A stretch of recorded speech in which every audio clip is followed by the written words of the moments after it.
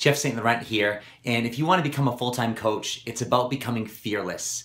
And what does fearless mean? It means that you trust, and it's trusting in nothing or nobody else besides yourself.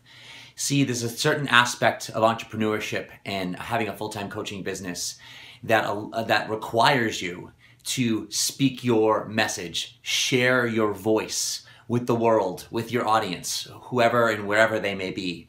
And you must do that on a regular basis, weekly, daily, as frequently as you possibly can, and be there and project confidence in whatever it is that you want to portray with your energy and your message and your tone to your audience.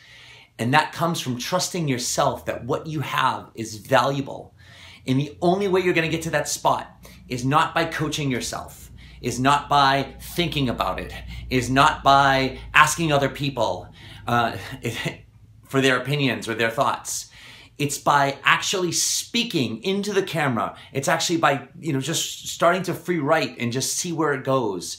It's taking a topic and expanding upon it, giving your thoughts, your opinions on something, and just posting it and sharing it there, and not asking for feedback or not asking for anything and, and not being apologetic about anything, but just sharing what comes out naturally and authentically. And the more natural and raw and authentic it is, what that's going to be is that's going to be your fingerprint. That's going to be your signature. That's going to differentiate you from anybody else, no matter what your niche is, no matter who you're assisting.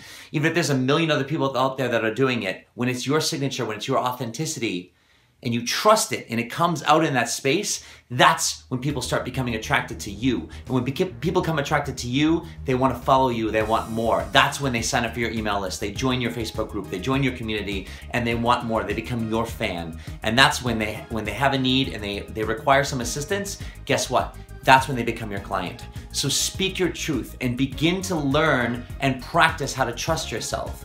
And, and my message here is by practicing that, the only way is by starting to share your message. So create a video today, write a blog today, do a Facebook Live today, start a podcast up or a telephone class today. And just, even if no one's there, it doesn't matter. Just speak and see what comes out. And you're gonna begin to notice a thread, you begin to hone and practice your message, and it's gonna be amazing because you're amazing. For more great tips like this, you can visit my website at sellingcoaching.com under the university, and there you can also check out my private Facebook group at the top of the page.